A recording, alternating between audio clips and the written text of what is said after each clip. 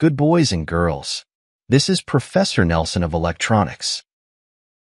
Today we are going to see how to connect a three-terminal switch. This switch has a neon light inside, so these allow us to know when the switch is actually working and if the current that we connect to it is really passing.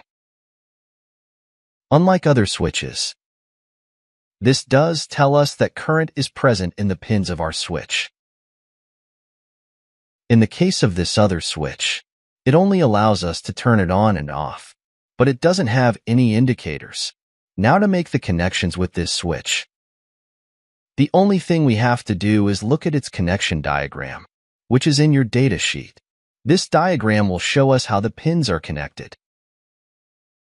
So the first thing will be to identify which pin is which, since in many cases the pins are not numbered. If they are not listed at least the pins will have some difference. For example, these two pins, they are the same color, if you can see it. However, the pin here has a gold color.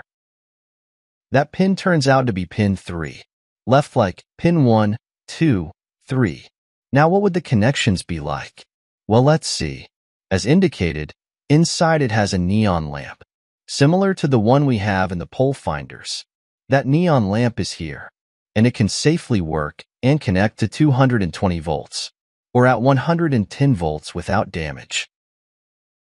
The connections are as follows. Firstly, if you forget the third pin, this is a normal switch. And how would we connect a light bulb or a motor to that normal switch?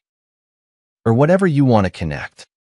Well, we must forget about the third pin for the moment to make the connections. Therefore, if I only had pin 1 and pin 2, what I would have to do would be connect this to phase Phase would enter through pin 1. When you close the switch, it would go through pin 2.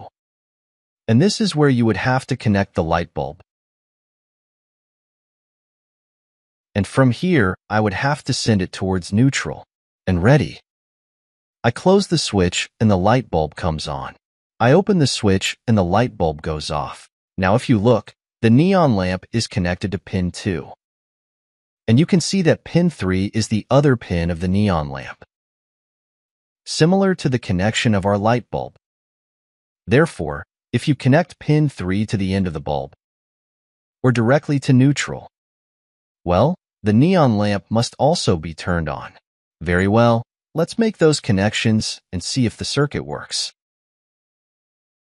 Very well, the connections are already made, but there are quite a few cables. Still, don't be scared. Let's see how the connections are. As seen, I have to connect phase to one end of the switch. And from this, you will have to go to pin 2. And from there, it will be connected to the bulb in neutral. Firstly, where is this phase? In this case, phase is the red wire. So let's look at it and check that this is the phase with the pole finder.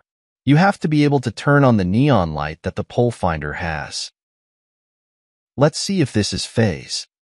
There is this phase. The loose goes out, so phase is on pin 1. Then pin 1, 2, and 3. Then phase reaches pin 1, which is the red wire. Now pin 2. Where do you have to go? At one end of the bulb. Since here is the black wire, that would be pin 2. From here it goes to one end of the bulb.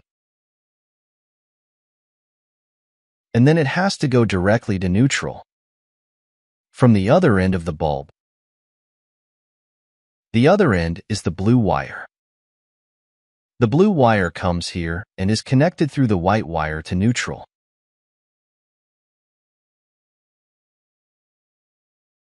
Now if you look at the white cable, the end or pin 3 connects directly to neutral, or at the end of the light bulb, and as you can see here, the white and blue wire are connected directly to neutral. Now let's press the switch. The neon light turns on. We turn off. We turn on, and that's it. Now we put a light bulb to see that it turns on with the switch. In this case, both the light bulb and the neon light or neon lamp are working in parallel. As you can see, the neon light bulb is very useful. With it, we can know if the problem is caused by the switch